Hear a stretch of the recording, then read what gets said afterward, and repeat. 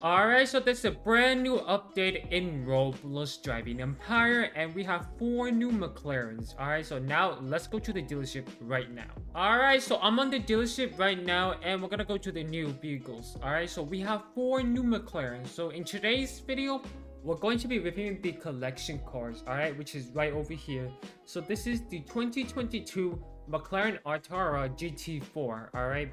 And you'll been asking, how do you get the collection card? Well, obviously, some of you guys, alright? Some people know, some people don't. So, if you know how to get the collection card, I'm sure you guys know. If you don't know how to get collection card, so basically, you might want to go to collection over here and click McLaren's, alright? And you're gonna scroll all the way down, and you must own six McLarens in order to get this card right here. So, I have the Speedtail, P1, and the Senna. So you must get 2016 McLaren 675 LT Spider and the 2020 McLaren 720S Spider. So I can buy it, technically. Let's buy that and let's buy this. And stay tuned for the next video because I'm going to review the other three McLarens. Alright, so stay tuned for that. So there we go. McLaren, open collection, and claim the rewards. There we go. Perfect. Now we have this McLaren. Now let's hear the startup and let's see the detail and the interiors.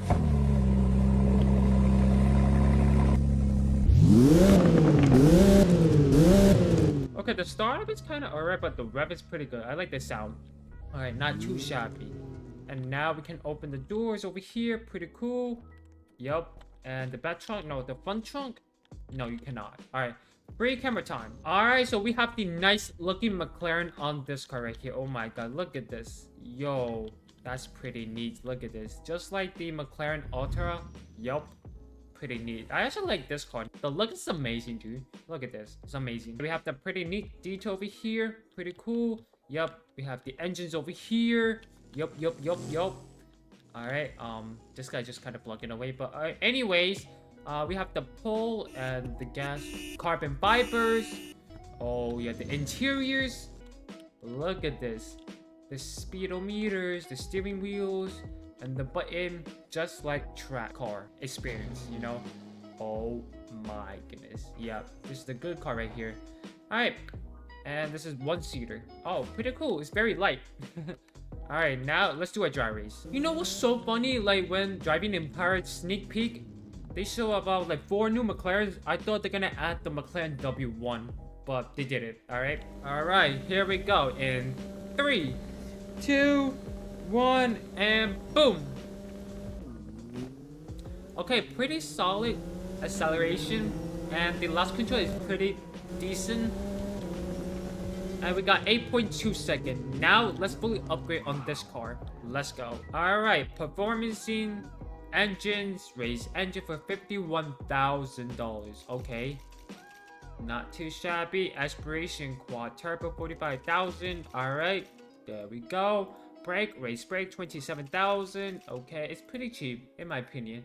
Uh, race tire 30,000. Okay. Nitrous Premium Boost. Install this and upgrade this bad boy. There we go. And drivetrain is rear-wheel drive, so let's put all-wheel drive. Oh yeah. So everything should be all set. Alright. So based on the vehicle status with fully mass upgrade is 257 miles per hour, 73% acceleration, 56% handling, and 86% of braking. Okay. The acceleration and the braking is pretty good, but the handling, I mean, it could be good, alright? It could be yeah, watch till the end to see if it's worth it or not. Alright, so for the appearance this might take some time. Okay, so I fully customized on this car. Oh my goodness, look at this. The green color, yo, is amazing on this McLaren. Oh my goodness. I'm actually loving this, not gonna lie. Yo, and I changed it to the red.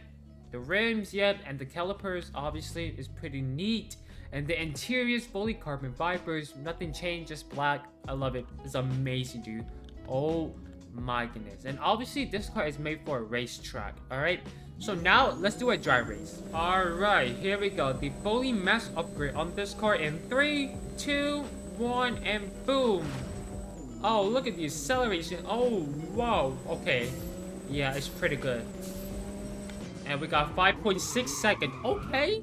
This car might be a little bit OP, but I don't know. Let's do a circuit race and we're gonna fast forward to see if it's really good with the Henley. Alright, so let's go.